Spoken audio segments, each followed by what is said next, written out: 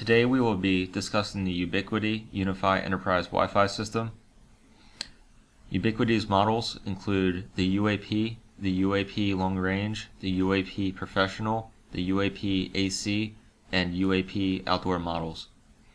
I am currently running the UAP base model. It includes an 802.11 B, G, and N radio, a 100 megabit per second port, and it has a range of approximately 400 feet. Joining this base model are a long range model that enhance range to 600 feet, and then a UAP professional model that has a 5 GHz radio and supports 802.11 A, B, G, and N. It includes a gigabit port with standard PoE, and it has a range of 400 feet. The UAP AC model builds on top of the Pro model, and it includes support for 802.11a, b, g, n, and 802.11 AC. It includes a gigabit port powered by standard PoE, and I believe it is at the top of the enterprise Wi-Fi system food chain at this point. The outdoor models follow, except they're rated to be mounted outside. Each of these access points supports 802.1q VLANs, and you can assign up to four SSIDs per radio.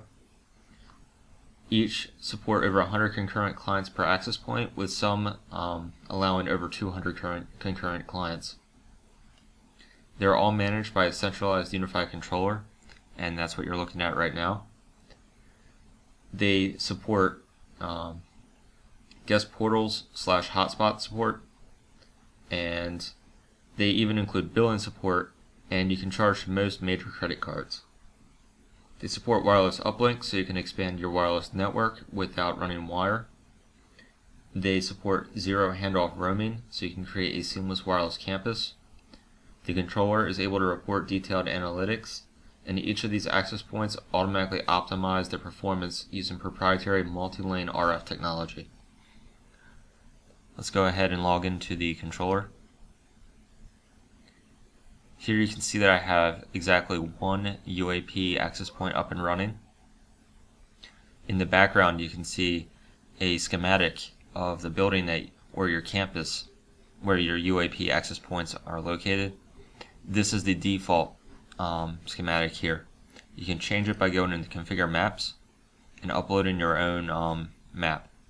I don't have one for my current building so I'm just using the default.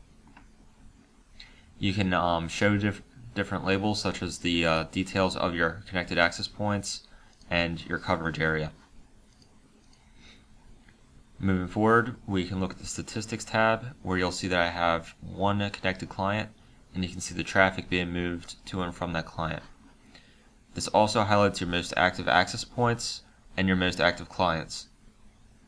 And this can be useful to identify any abusers on your network we can move to the access points tab where you'll see all of your um, currently managed access points. I only have one um, managed, so you only see my one access point show up here.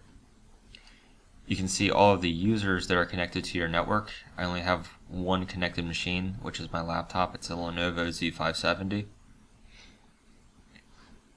You can see any guests on on your network. I don't have that set up at the moment and this is a summary of all guests and all logged in users. Moving towards the bottom of our screen, we can look at recent events. You can see that my access point was just connected. This is because I recently updated rules on my firewall so that it could actually connect to the controller software. The alerts tab shows any trouble um, problems, or sorry, trouble that you've had in the past. And you can see here that as I changed the rules on my firewall, the access point was disconnected from the controller software. Moving on to settings, you can manage um, your UniFi system. Here you can see where my controller is set up. You can turn the um, status LEDs on and off. You can upgrade your firmware. You can load balance between multiple access points. You can make your access point discoverable and you can set it up so that it will send out um, alert messages to your email if you'd like. Moving back to settings, we can set up our guest portal. Here we can add and control wireless networks from within here. I used to have a guest network set up. From here you can see that you name your SSIDs and you can assign them to a VLAN so they can be independently managed. For security, you can have no security. You can um, use WEP, which is no longer recommended. You can use WPA Personal, and you can use WPA Enterprise Encryption.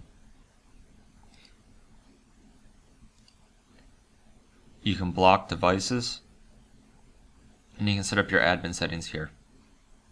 The user groups are useful if you want to um, have policies that affect multiple access points or multiple sets of users.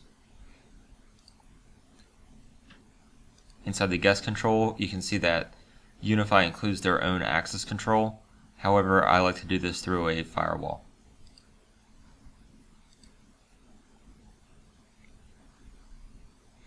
And that concludes my presentation on the UniFi Enterprise Wi-Fi system.